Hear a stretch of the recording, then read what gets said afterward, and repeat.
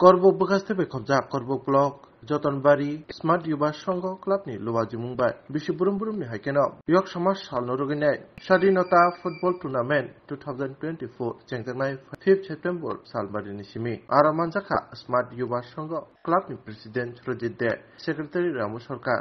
তাই organising secretary Milton চাকমানা খুবই কুবুনি আদর। পর্যন্ত আপনাদের কতটা টিম এখানে লিস্টেড হয়েছে? এখনও অবধি আমাদের ষোলোটা টিম লিস্টেড হয়েছে। যার মধ্যে আমরা ডেইলি ফোন কল পাচ্ছি কিন্তু আমরা অ্যাকোমোডেট করতে পারছি না। দেখা যাক কতটুকু অ্যাকোমোডেট করা যায় কারণ ডেট আমাদের আছে তিরিশ তারিখ অবধি। তিরিশ তারিখ অবধি খেলাধুলা চলতে থাকবে। এই ক্লাবের একটা খুব সুনাম রয়েছে আপনারা বিশেষ করে এই এলাকার মানুষ জানে যে সমাজ সোশ্যাল ওয়ার্কের সাথে যুক্ত। তো এই খেলাধুলার মধ্য দিয়ে আগামী দিনের যুব সমাজকে আপনারা কি আহ্বান জানাবেন? খুব ভালো প্রশ্ন বা আপনারা তো দেখেছেন কি বলে, বিগত কিছুদিন আগেও যে যারা বন্যা কবলিত হয়েছেন, আমাদের ক্লাব থেকে কীভাবে দাঁড়িয়েছে এবং অনেক রেস্কিউ করা হয়েছে with the help of NDRF and SDRF এবং আমাদের fire service department local administration ওদেরকে সহ অনেক হেল্প করা হয়েছে।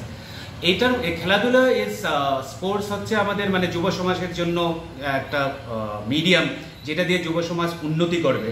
এবং আমরা চাই যে আগামী দিনের প্রজন্ম ওরা যাতে সুস্বাস্থ্য এবং সুচিন্তা ভাবনা নিয়ে যাতে আমাদের সমাজকে এগিয়ে নিয়ে যেতে পারে, সেটাই হচ্ছে আমাদের চিন্তা ভাবনা এবং আপনি, আপনারা জানেন সবাই, বর্তমানে যে পরিস্থিতি চলছে স্পেশালি আমাদের ত্রিপুরায়, যেরকম ড্রাগ এডিকশন এবং এটা যেভাবে যুব সমাজরা কবলিত হয়েছেন প্লাস সোশ্যাল মিডিয়া এবং মোবাইল যেভাবে ইয়ে করছে তারপরে সেটার জন্য আমরা চাচ্ছি যে যুব সমাজকে আমরা কি করে আবার ক্রীড়া এবং স্পোর্টসের মধ্যে আনতে পারব।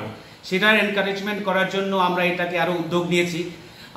এবং যত কি বলে এত ন্যাচারাল ডিজাস্টার হওয়ার পরিপ্রেক্ষিতেও আমরা চাচ্ছি যে এবং আহ, এখনও অবধি চলছে আমাদের কি বলে ত্রাণ চলছে এবং অনেক আমাদের এলাকাবাসী এখনও ত্রাণ শিবিরে রয়েছেন।